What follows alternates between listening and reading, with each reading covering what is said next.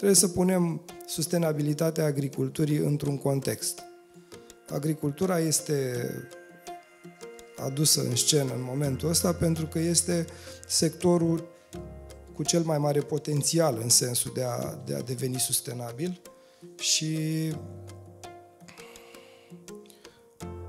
și este în același timp sectorul care, care a și făcut deja pașii cei mai mulți în direcția asta. Nu pentru că este un mare poluator. În momentul ăsta, sustenabilitatea are, are doi avocați. Unul este contextul în, în care trăim acum, cu presiune dinspre est, presiune comercială. Sustenabilitatea va fi împinsă de la spate de nevoia de a fi mai competitivi, pentru că ea are o componentă și anume scăderea costurilor. Ăsta este incentivul pe care sustenabilitatea îl are de partea ei. Sustenabilitatea are și un dușman, reglementatorul.